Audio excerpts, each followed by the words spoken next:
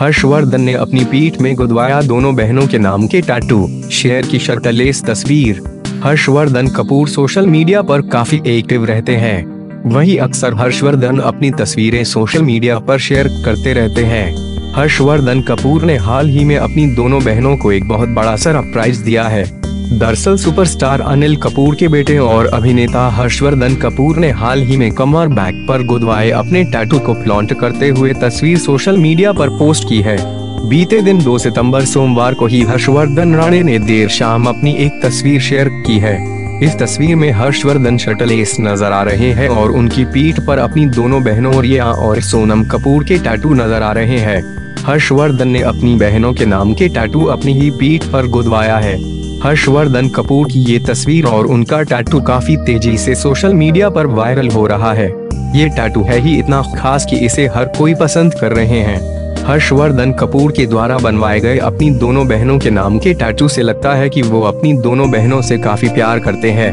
इससे साफ़ ज़ाहिर हो रहा है कि हर्षवर्धन कपूर के लिए उनकी बहनें कितनी खास है और वो उनसे कितना प्यार करते हैं। तस्वीर की बात करें तो साफ़ देखा जा सकता है कि हर्षवर्धन ने हिंदी में अपनी पीठ पर दोनों बहनें रिया और सोनम कपूर का नाम गुदवाया है उन्होंने ब्लैक एंड व्हाइट तस्वीर शेयर की है और दोनों बहनों को टैग करके कैप्शन भी लिखा है ये पहली बार नहीं है जब बहनों के प्रति हर्षवर्धन का प्यार देखने को मिला हो, बल्कि आए दिन इनकी खूबसूरत बॉन्डिंग की तस्वीरें सोशल मीडिया पर वायरल होती रहती हैं।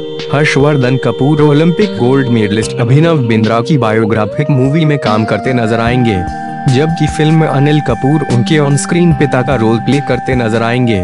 फ़िल्म के बारे में बात करते हुए हर्षवर्धन ने कहा कि फ़िल्म बायोपिक के कन्वेंशनल अप्रोच को फॉलो नहीं करेगी, बल्कि इसकी प्लॉट लाइन जरा अलग होगी। उन्होंने बताया कि फ़िल्म की कहानी सिर्फ़ अभिनव बिंद्रा के प्रोफेशनल करियर पर फोकस न करते हुए एक पिता पुत्र के बीच की बॉन्डिंग दर्शाती नज़र आएगी। फ़िल्म में कोई भी गाना नहीं होगा, बस बैकग्राउंड स्कोर होगा। फ़िल्म का निर्देशन कन्नन अय्यर करते नज़र आएँगे। हर्षवर्धन ने साल 2016 में मिर्जिया फ़िल्म से अपने फिल्मी करियर की शुरुआत की थी। इसके बाद साल 2018 में उनकी film Bhavesh Joshi super hero release हुई थी।